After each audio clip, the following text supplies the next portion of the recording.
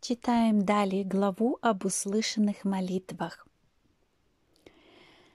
Мюллер пишет, «Понятно, что я искренне хотел также быть орудием Божьим, чтобы презирать бедных сирот, подготовить все необходимое для обеспечения им крова, пропитания и одежды, а также воспитать их в страхе Господнем. Но главной и основной целью этого учреждения было прославить Бога. Чтобы Бог сам был отцом сирот. И этого добиться желаем через веру и молитву. И чтобы доказать, что Бог верен и слышит молитвы, мы решили, я и также мои сотрудники – к людям за помощью не обращаться. И это нам удалось великолепно. Теперь всякий, каким бы он ни был слепым, может убедиться, что Бог слышит молитвы. Поэтому через чтение наших отчетов обратились очень многие грешники к Господу а великое множество верующих приобрело радостное упование на живого Бога. Так что наша цель достигнута, и плод веры созрел во многих сердцах, и за все это я от глубины души благодарю живого Бога, который один достоин чести и славы. И в 1838 году рука Божия тяжело легла на Мюллера. Он заболел. И однажды, преклонив колено, он читал 67-й псалом, где особенно его внимание привлекли слова «Отец сирот». «Эти слова, — воскликнул Мюллер, — дают мне право совсем спокойно на всю заботу о своих сиротах возложить на Бога. И когда я получил это ободрение, он поднял знамя веры еще выше и с большей надеждой, чем раньше. И действительно, тысячам было суждено прийти под любящую опеку этого доброго отца-сирот начиная со дня основания приюта до 1838 года, число сирот все увеличивалось, и не было недостатка ни в чем. Но теперь наступило великое испытание его веры. В дневнике Мюллера от 18 августа он пишет так. «У меня для сирот в кармане нету ни копейки хотя в ближайшие дни мне нужно непременно несколько десятков рублей.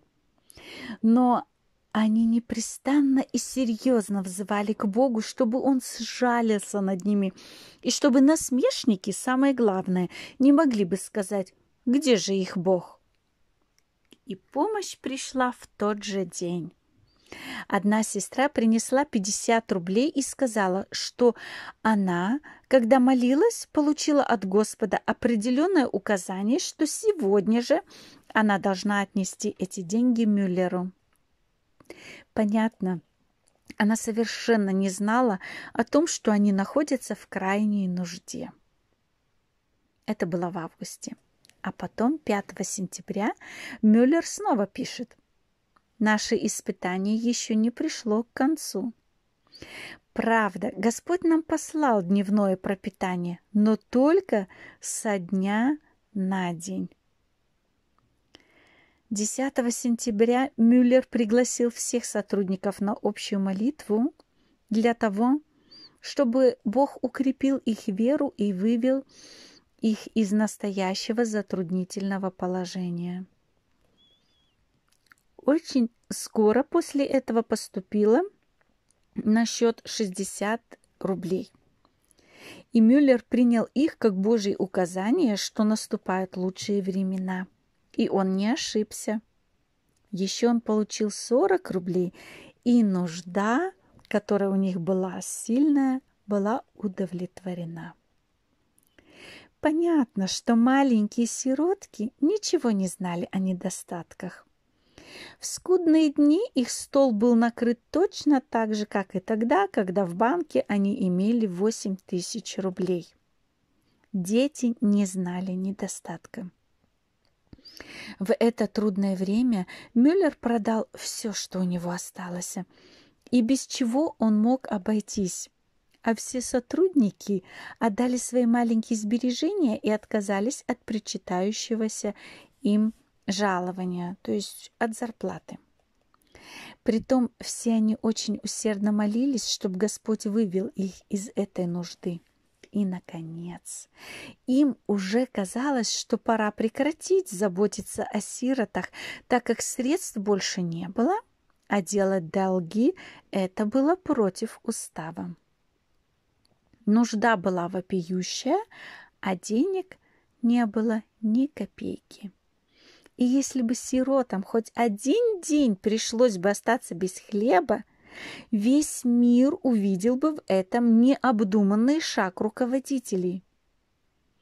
Но рука Господня не сократилась, чтобы помогать. Помощь была близко. В Бристоль в это время приехала дней так на четыре или пять одна дама из окрестностей Лондона, и она остановилась недалеко от приюта. Эта дама в один день просто зашла к ним в приют и занесла 32 рубля, которые ей дала ее дочка для сироток. Мюллер об этом говорит. Ясно видно, что деньги были так близко, но не были принесены нам для того, чтобы испытать нашу веру и принудить нас больше пребывать в молитве и дорожить помощью свыше. Время затруднений и испытаний тянулись, тянулось довольно долго за исключением маленьких промежутков. Почти что каждое утро приходилось ожидать помощь исключительно от Бога.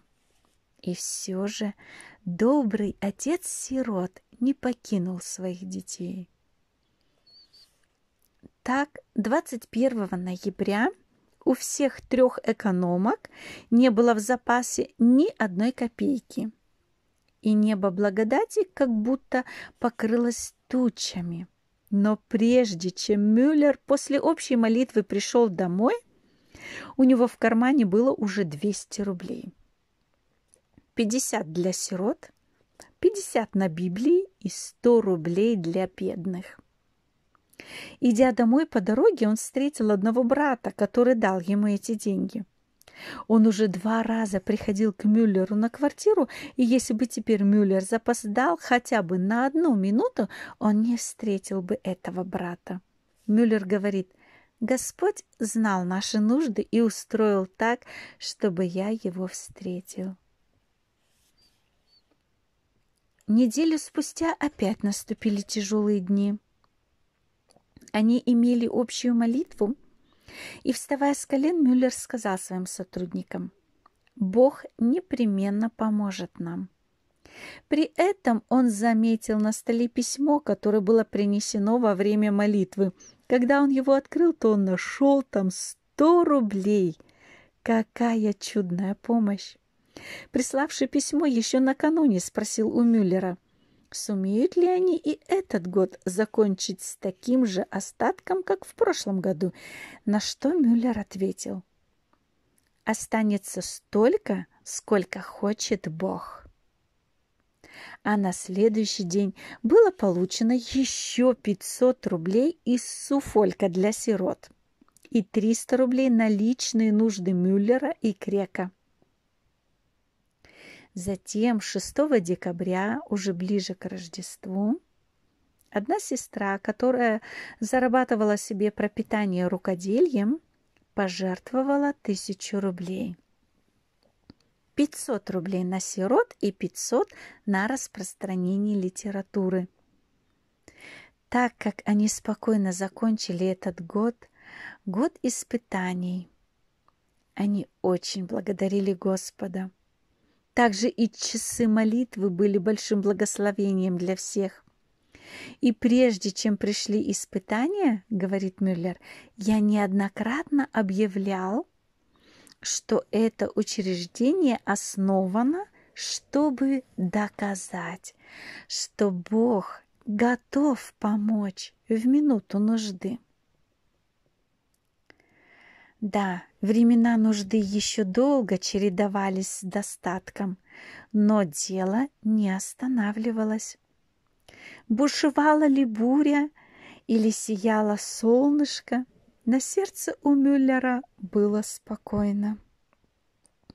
Он был уверен, что Бог тем или другим способом позаботится о пропитании и его большой семьи. Очень часто помощь приходила или во время молитвы, или рассматривания списка предстоящих за день расходов. И хотя денег редко было так много, чтобы их хватило для сирот на три дня, все же число сирот постоянно увеличивалось, если только были места. И таким образом в августе 1839 года их количество достигло 98. Шестой год существования приюта был начат с двухрублевым остатком. В течение 1839 года на приют было израсходовано 9 тысяч рублей – и на другие дела 6255 рублей. Замечательно, что в то время, когда люди о приюте знали совсем мало, уже поступали крупные пожертвования. И главным образом они приходили из Англии, также из Индии и Ост-Индии.